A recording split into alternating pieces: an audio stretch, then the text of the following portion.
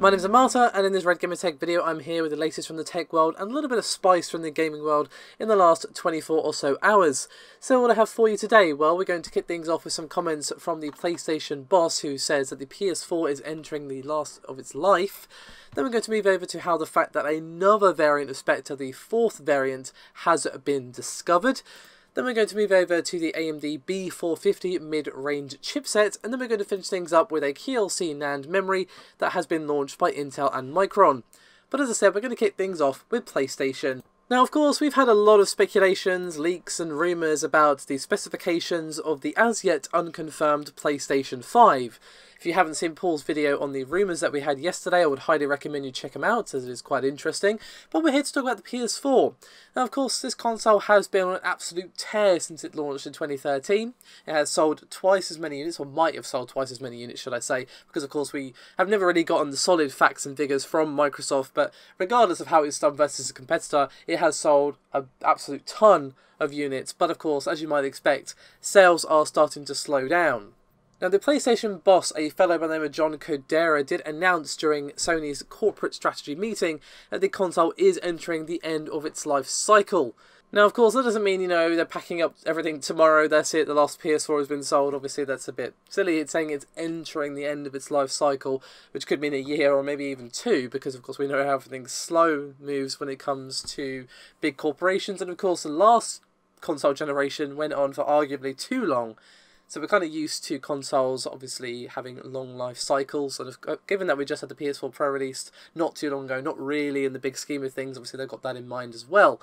Now we have some tweets from Takahashi Mochizuki of the Wall Street Journal, and he reported some of what Kodera had to say on Twitter. So we're just going to go through these various tweets, and the first thing that he discussed was that Kodera said that we can expect more exclusive titles for PlayStation platforms. Now, if you ask me, this is one of the areas where PlayStation is quite strong. Obviously, this is a very personal, subjective thing because, you know, what I find interesting as a game, you might look at and go, ugh, really? So, obviously, that's a very personal thing, but in my personal opinion, the PS4 has had pretty strong exclusive lineup. So, unsurprisingly, they're expecting to increase that strength. Now, they also did touch on the PlayStation VR, which of course hasn't really been in the headlines that much. The, as much as I'm interested in virtual reality, the current headsets on the market have yet to really take things by storm. They've yet to really change the industry in the way that I think VR has the potential to. And according to Takahashi, Kodera said, quote, PSVR growing, but industry's growth is below market expectations. PlayStation Vue is facing harder than expected competitions. Vue and PSVR would aim for future growth with realistic outlook. But the TLDR of all of this is basically yes, the PlayStation 4 is entering the end of its life. But that doesn't mean again that it's coming, you know, out of stock tomorrow. It just means that okay, they're kind of preparing to wind down the console. There's probably a couple of years, at least, given that the current rumors, at least for the PlayStation 5, are 2019 or 2020. I would say late 2019 is pretty reasonable, but I would expect around 2020 for the PlayStation 5, if that's even what it's called, of course. And that would kind of line up with what he said, like a couple of years would put it, of course, at 2020, which I think would make complete sense, not only in terms of what we already know in terms of the rumours, but in what he already said and what we're kind of expecting from how much mileage developers are going to be able to get out the technology in the PS4 and, of course, the PS4 Pro. But with all that said, let's move on to our next topic, which is regarding, unfortunately, yet another Spectre variants. So what we have here is Speculative Store Bypass Variant 2. Now this does affect Intel, AMD and ARM, so equal opportunity employer this particular vulnerability. And is focused more towards targeting web browsing components which are not meant to be accessed by your everyday applications. Now I do have a bit of a statement here from Intel regarding SSB variant 4 which says it quote targets systems with microprocessors utilizing speculative execution and speculative execution of memory reads before the addresses of all prior memory writes are known may allow unauthorized disclosure of information to an attacker with local user access via a side channel analysis.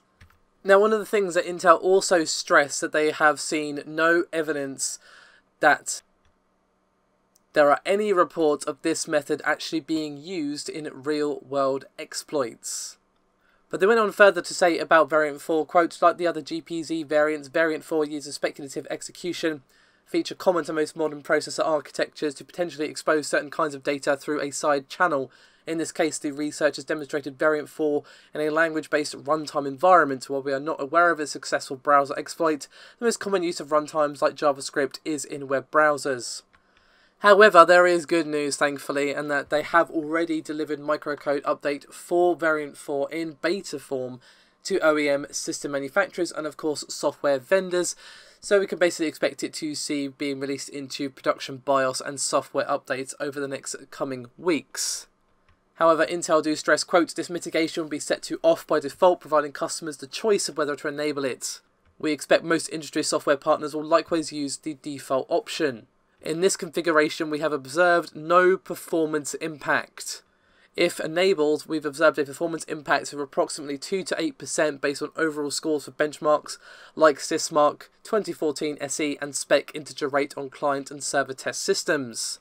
So basically, if it's off like it is by default, there's no performance impact, but if you turn it on, you can expect one of about 2 to 8%. Now, 8%, of course, it does matter, especially if you're not getting like, you know, 10 out of 10 performance as it is, but at least they have kind of said, hey, you can expect to see some performance impact of this being enabled. Now, they have also said that the update does also include microcode that addresses variant 3, which was previously documented by ARM back in January. Now, thankfully, there's no meaningful performance impact on client or server benchmarks with the Variant 3 mitigation. So, you know, one upside, I guess, kind of. But the TLDR of all of that basically is that this is just, again, another variant on Spectre that this time is, as I've already said, targeting web-based applications. But Intel already on the case, but as I said, it does also target, or can also be targeted towards, I guess I should say, towards AMD and ARM as well.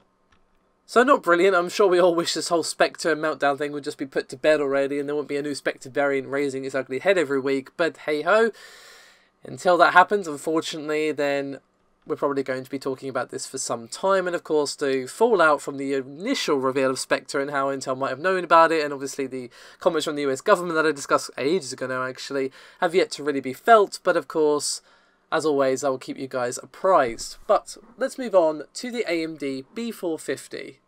So basically what we have here is the second 400 series motherboard chipset. It is slated for a second half of 2018 release alongside the Ryzen 5 2500X along with some other entry level second generation Zen processors. Now of course this comes with the support for the Ryzen 2000 series but it also has the same numbers of USB, SATA and PCI links as we saw in the B350. And of course we do see overclocking support retained just like we saw again in the B350. But what improvements do we see? Well, we see a reduced idle power draw of less than 2 watts and we do also see the same enhanced CPU, VRM and memory routing specifications that we saw back in the X470. Now, what also might tickle your fancy is that the B450 does actually support NVMe RAID, which, as you might recall, was exclusive to the X399 in the previous generation. But the last thing I kind of want to touch on here is something a bit mysterious by the name of XFR 2.0 Enhanced. Now, we had, did also see this on the X470 as well, but at the moment, at least as far as I can dig up, there's no tech document that tells us what this even is or how it's different from XFR, 2.0, which is was also present on this particular table.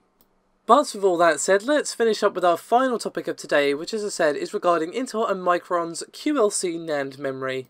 So basically what we have here is that Intel has announced they're ready to start shipping the first 4-bit cell 3D NAND dies. The increase in density allows for 1 terabit of memory per die and at the moment at least is the most capacity dense flash memory produced. However, in terms of the QLC, the, the new QLC provides a 33% higher density compared to TLC, 3 bits a cell, and the offering from Intel and Micron's QLC does utilize 64 layers of second gen 3D NAND. But we also heard a little bit about what they're hoping to do for the future.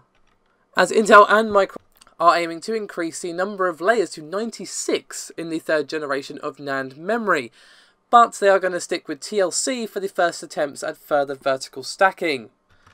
But I do also have a bit of a statement here from Intel Vice President saying, quote, Commercialization of 1TB 4-bit cell is a big milestone in NVM history and is made possible by numerous innovations in technology and design that further extend the capability of our floating gate 3D NAND technology.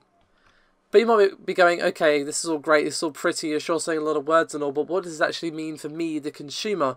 Well, as you might expect, it's going to be cloud and data centers that really see the full benefit of this. However, you and I are going to see some benefit from this. For you know, for example, you know the cost savings from the increase in density will ultimately lead to high capacity drives and slightly lower pricing. But obviously, this is going to take some time for it to drip down to us. But eventually, we will see that reduction in price, but of course the improvements in the higher capacity as well. But as I said before, even if it's not intended for the average consumer, I do still love reading and uh, talking about stuff like this because it's just cool seeing technology increase. You know, how we have come so far with even something as quote unquote boring as memory, and I don't find memory boring at all, to be honest, but it's not as flashy as, say, a, graphics card, just for instance. But that is me done for this video. Do forgive my slightly croaky voice. Unfortunately, I am getting over a cold at the moment, as you've probably been able to tell. Getting there, but uh, not 100%. Not my usual sparkling stuff, as you might be able to tell. But regardless, that is me done for this video. Thank you very much for watching, and I'll see you next time.